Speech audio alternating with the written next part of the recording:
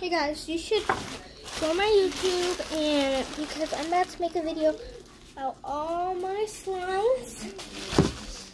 And we're gonna be adding like perfume and stuff to them. So.